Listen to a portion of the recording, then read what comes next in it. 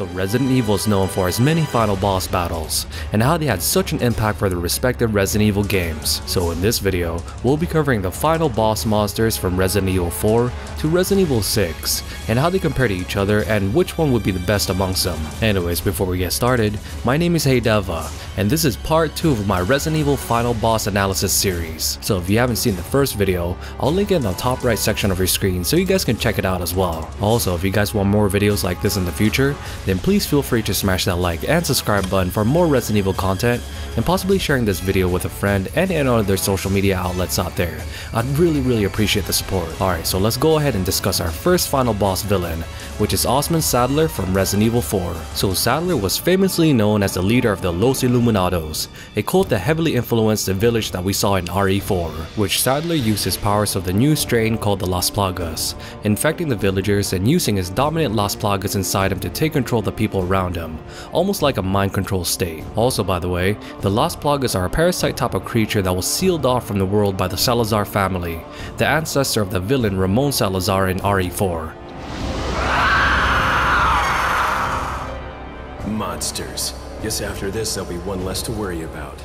where they had the Plaga sealed within a cave, and they built a castle on top of it to prevent this parasite to ever seeing the light of day again. But through Osmund Saddler's manipulation, he led Ramon Salazar to feel guilty for what his ancestors did, and opened up the seal to the Las Plagas tomb, which then had some of the villagers excavate the ruins, to only find out that these parasites were fossilized, but the subsequent consequence of opening the cave would have the workers inhale the many spores of the Las Plagas, causing them to regrow within the human body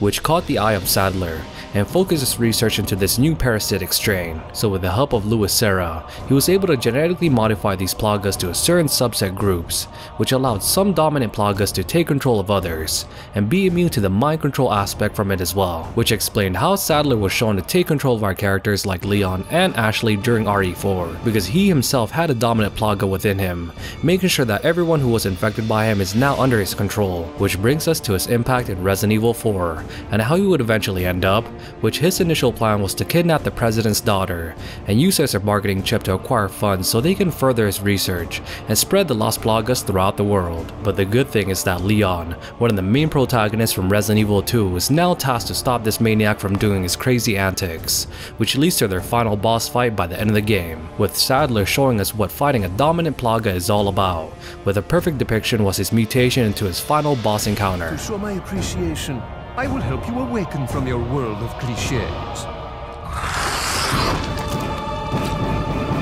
Ada, stand back. So now Saddler has mutated into this parasitic spider-like monster with eyeballs throughout his body, almost like the mutated G eyeballs of William Birkin from RE2. So with this form, Saddler is able to do as many melee attacks, and even show that he can throw large beams of steel towards our characters, showing how powerful he is. But similar to the end of the Tyrants that we see from the previous Resident Evil titles, Saddler meets his end with this.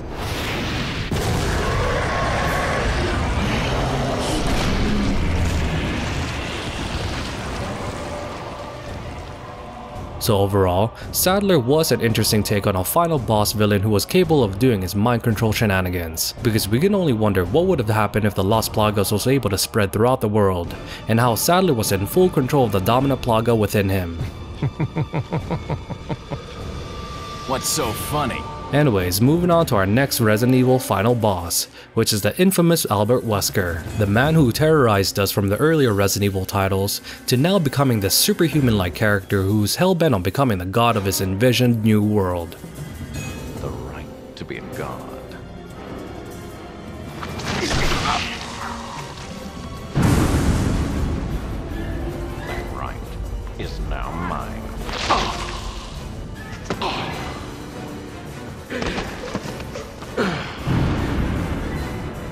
So I'll be quickly covering Wesker in this video, but I do have a separate video where I cover him completely, so if you guys are interested in that, then please feel free to check that video out on my channel. So Albert Wesker makes his return in Resident Evil 5, and being the main antagonist to Chris Redfield again, but is now much more hellbent and his ego in full display, showing off his many superhuman-like powers when we saw both Jill and Chris fight him at the Spencer estate, which made us see how much he's progressed after receiving the experimental progenitor viral strain from William William Birkin during the events of RE1, because not only does he have the superhuman strength, but he's also faster than a speeding bullet, where he's able to dodge gunshots with ease. But the only way of stopping or slowing him down was by injecting him with more of the viral strain, deregulating the balance within his body.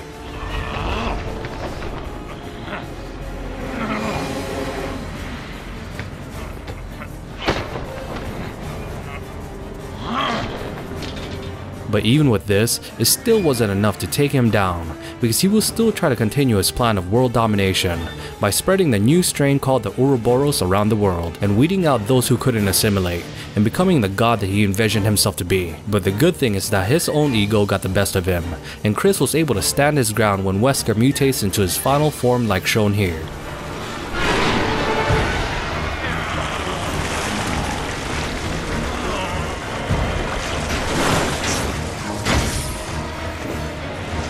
Now infusing himself with the powers of the Uroboros, he now has a combination of his previous superhuman powers, but is now magnified with a new strain. Time to die. Chris was finally able to stop Wesker's plan when Wesker himself got stuck in lava and finally eliminated in the classic Resident Evil fashion, which has me thinking that the developers for this game is really obsessed about killing off the main final boss with rocket launchers, because we all know the casualties that the other monsters had to go through with this weapon. I mean, just ask Mr. X, he knows all about it. Anyways, overall, Albert Wesker was a villain who we truly love to hate, especially with all his egotistical gloating, always insulting us about our mission, and his obsession of becoming a god making him one of the most beloved final bosses in Resident Evil history. Don't you two ever tire of failing in your mission? Anyways, let's move on to our final Resident Evil game in this video, which actually had three different final bosses that we had to face, ranging from the world-ending Chaos, to the devious Derek Simmons, and the tyrant-like monster Ustanak, with each of them having their own special traits that made them stand out in Resident Evil 6. So let's go ahead and start off with Chaos. So Chaos is known as the world-ending BOW, which we encounter at the end of Chris Redfield's campaign, with its initial form still beneath the giant chrysalis that we see here, just waiting for it to fully mature and spreading the C virus around the world. But luckily for Chris, Chaos was actually awakened much earlier than it should be, and it still proved to be a larger than life BOW that had to be stopped at all costs, because the infection rate of Chaos would be catastrophic if left unchecked with a great depiction shown here, with the monitor showing us how the world could end with the spread of the C virus due to this monster. So Chris Redfield and his partner Piers is tasked to stop this monster from being free, and it was up to them to eliminate it before it wreaks havoc. So our initial encounter with Chaos would have us running away from it in the first sequence, as we just admire how ginormous this monster is. But Chaos would meet its end when we have Piers who himself got infected with the C virus, is now capable of shooting lightning strikes from his mutated arm, dismantling Chaos once and for all.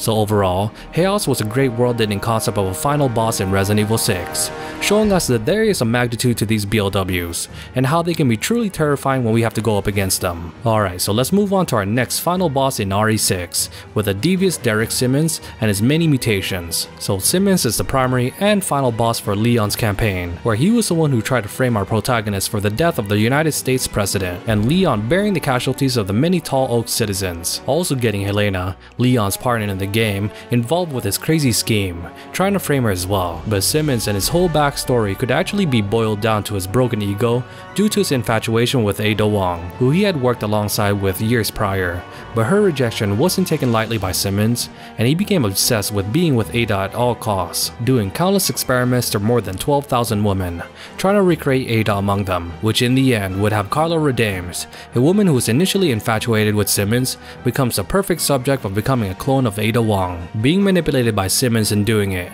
so that he can finally have his dream woman next to him. But this wouldn't work due to Carla regaining her self-conscious back after turning into Ada Wong, with their new goal was to stop Simmons at all costs, and being that deterrent for him throughout the game, which leads Simmons to being infected when he gets shot with a new and potent dose of the C virus, turning him into one of the most versatile monsters that we've seen today in the Resident Evil franchise, where he can turn into all of these monsters, each one with a particular animal style of combat, ranging from a four-legged leopard BOW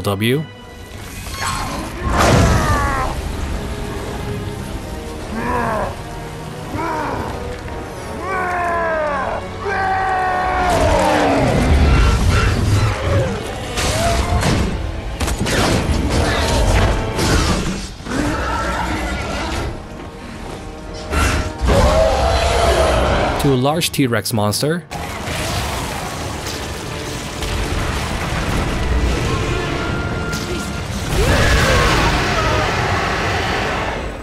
and to a large insect-like monster who can assimilate other infected into him, and becoming much larger in size.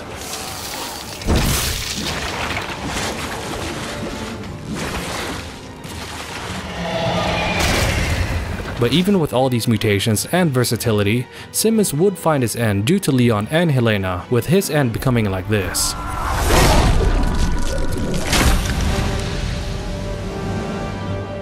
Also, I like the reference of the Umbrella Corporation with the way Simmons' blood covering the portion of the monument, reminding us Resident Evil fans the horror that this company has started. So overall, Simmons was an interesting and psychopathic final boss, so I'll be covering him more in detail in a future video, so please let me know if you guys would be interested in that. Alright, so let's move on to our final Resident Evil boss in this video, which is the tyrant-like being named Ustanak. Okay, we go with your plan. So Ustanak was actually an individual who was infected with a C virus by Carla and seemed to only follow her commands. Also, his overall presence, like I mentioned earlier, is almost tyrant-like, reminding us of Nemesis from Resident Evil 3, because after his intro, we get to see him chase after Sherry and Jake throughout their campaign, showing a lot of outlandish maneuvers and acrobatics. But his most versatile aspect is his interchangeable arms, which he can change from a claw to using as a ranged minigun. But Ustanak was shown much more throughout the game, being that constant stalker stalker that gave us such a great time during Jake's campaign, but his end would be met in a different way compared to the Tyrants, which Ustanak sustained so much damage from falling into a pool of lava that meets its end here.